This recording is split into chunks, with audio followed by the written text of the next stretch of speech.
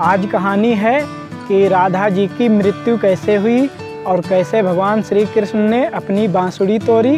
तो आज कहानी इसी पर, इसी वीडियो में आप लोगों को हम सुनाएँगे कि राधा जी की मृत्यु कैसे हुई और कैसे भगवान श्री कृष्ण ने अपनी बांसुरी तोड़ी।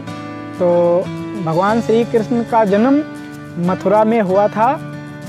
भगवान श्री कृष्ण का जन्म मथुरा में हुआ था और गोकुल में नंद बाबा के यहाँ पले बड़े और राधा जी का जन्म बरसाना में हुआ था और बरसाने में पली बड़ी। तो नंद बाबा जो थे वो राधा जी के पिता के बहुत अच्छे मित्र थे।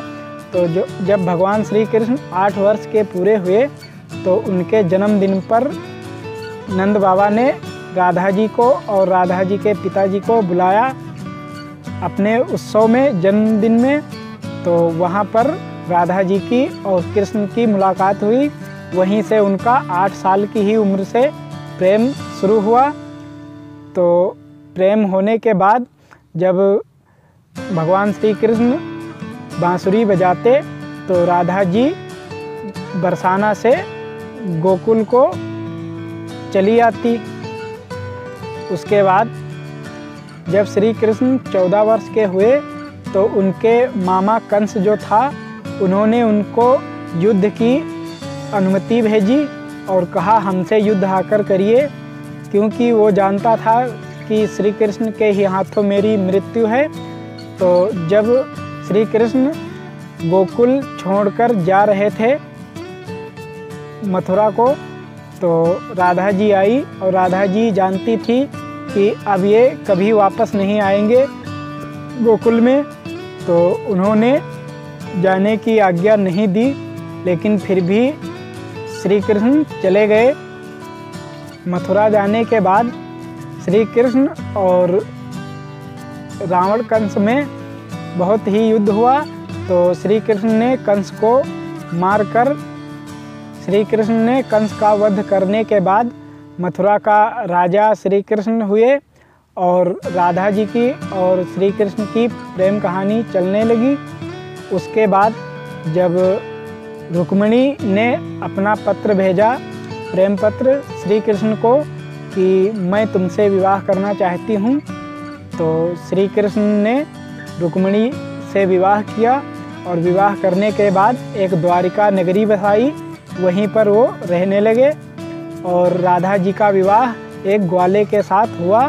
जो मथुरा में ही कंस के यहाँ रहता था तो राधा जी जब अपना वैवाहिक जीवन बिताने के बाद वहीं पर रहने लगी, तब श्री कृष्ण को याद करती और श्री कृष्ण सोते हुए भी राधा जी को श्री राधे श्री राधे करते रहते।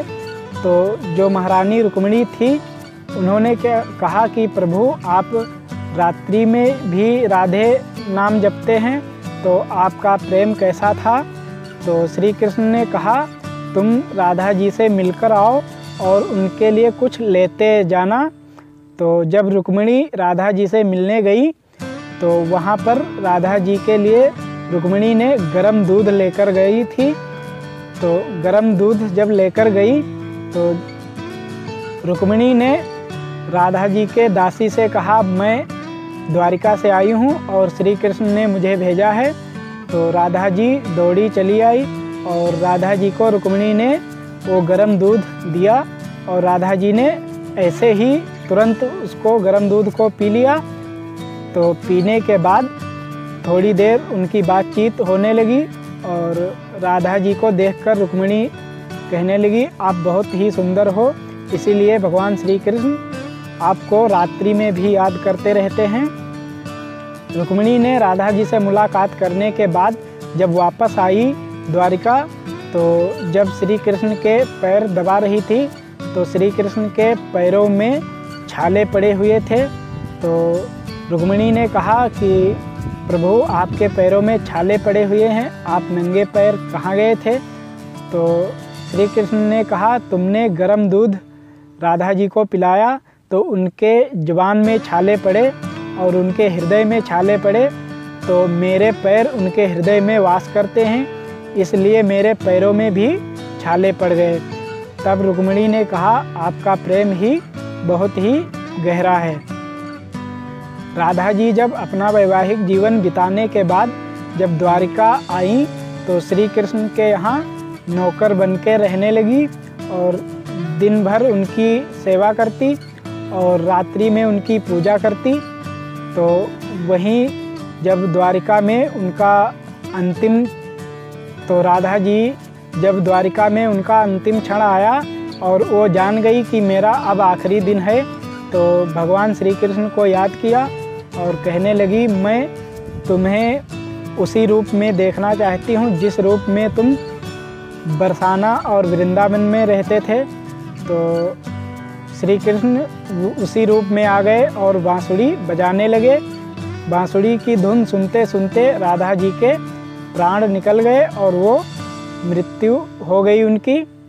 तो उसी दिन श्री कृष्ण ने अपनी बांसुरी तोड़ दी और उसी दिन से कभी बांसुरी को बजाया नहीं। और ऐसे हुई राधा जी की मृत्यु और ऐसे श्री कृष्ण ने अपनी बांसुरी तोड़ी। नमस्कार दोस्तों, स्वागत है हमारे एक और न्यू ब्लॉग में। अगर वीडियो अच्छा लगा हो तो एक लाइक करें चैनल पर पहली बार आए हैं तो चैनल को सब्सक्राइब करें, ताकि ऐसी ही कहानी हम आप तक लाते रहेंगे। तो ये थी कहानी श्री राधा जी की और भगवान श्री कृष्ण ने अपनी बांसुड़ी कैसे तोड़ी और राधा जी की मृत्यु कैसे हुई। तो इस कहानी को इसी पर करते हैं एंड और मिलते हैं किसी अगले वीडियो में। तब तक के लिए राधे राधे कमेंट में ज़रूर लिखें। और वीडियो को लाइक भी करें।